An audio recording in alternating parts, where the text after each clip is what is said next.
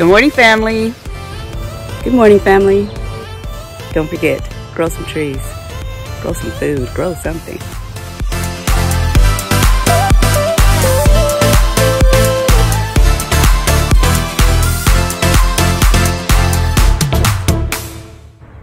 Let's get started. All right, so in this jar, I have the remnant of green onions. Now, as you can see, I left the bottom portion, the section that has the root on it, and all I did was place it in water for a few days, and look at that, all of these roots. Some have been in there a little longer, so you can see that. Those are probably about a week and a half old, all the way down to a few days old.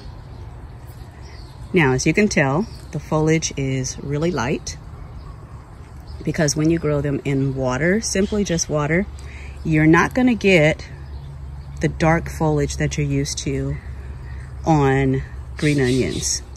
But once you plant them out in the soil, like this little guy over here, you'll notice that they start to get a little more green.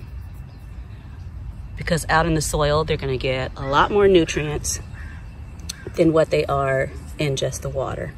And it's really easy to plant these guys. So I'm gonna show you how simple this is. So all I'm gonna do, I'm gonna take my trusty gardening tool, look at that. And I'm just gonna make some holes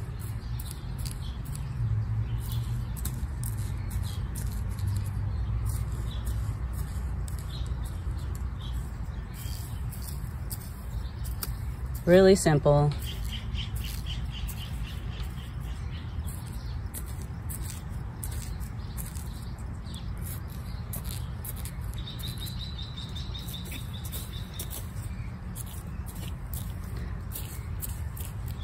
And just gonna take the jar, gonna grab one of these out of there, you see that?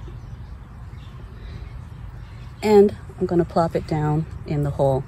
You want to make sure that the roots are covered completely.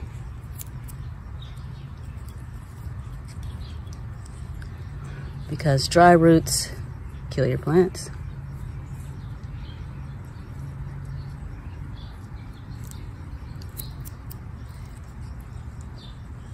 So we're just dropping them down in there, covering the roots completely. And then tapping down.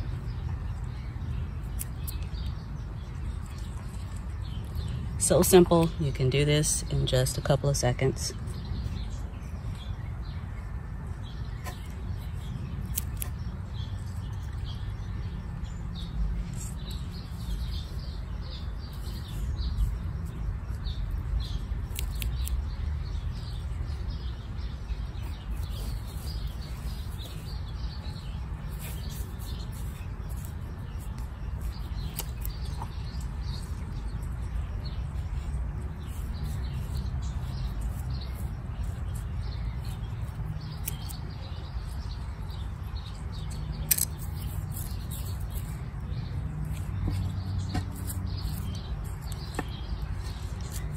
Anything breaks off, don't worry, it'll grow back.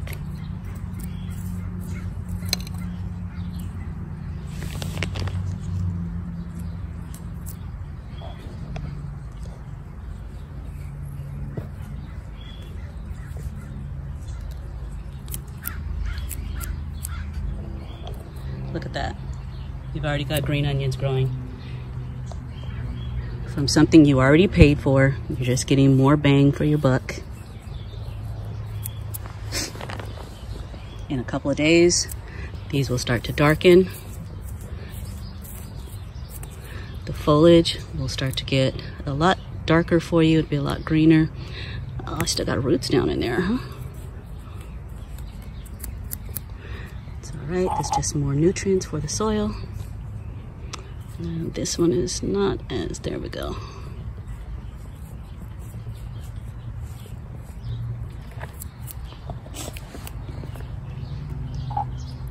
So the reason I have these so spaced out, you don't have to have them this spaced out, But um, I tend to let my green onions stay in the ground for a long time.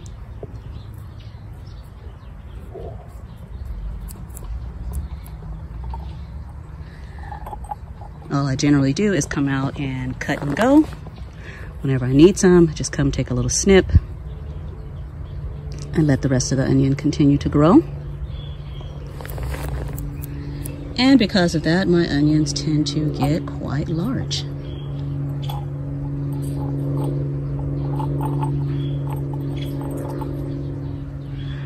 Uh, this is just a little guy here.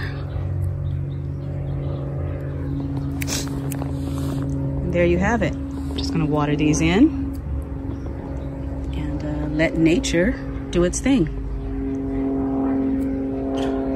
All right, guys, thanks for joining me. I will see you in the next video.